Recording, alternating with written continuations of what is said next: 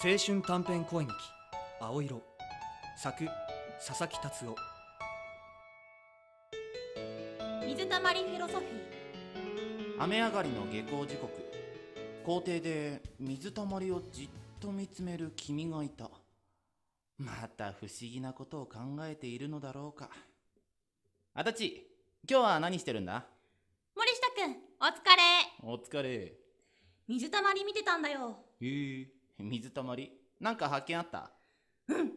水たまりって不思議なの。え何が？だって水が平面的に集まっただけなのにどうして鏡のようになるのか？その構造森下くんは知ってる？いやわかんないけど。反射じゃないの？ただの反射じゃないよ。地面にできた水たまりに空が映っててそれを覗き込めば私の顔が見えててさ。ま例えばねもし鏡とかがなかった時代に生まれたことを想像してみてよ。その時自分の存在がどうなっているかなんてわからない。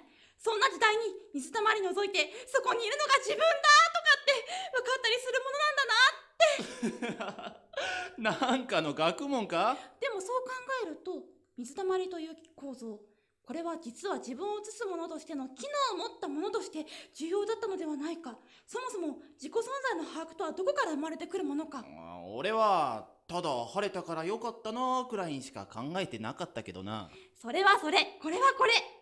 気になるから図書室行こうっと。えー帰らないの、私気になるので。うん、じゃあ俺も行こうかな森下くんも興味ありますかこの現象 なんか謎を出されて答えがないのってすげえ気持ち悪いから。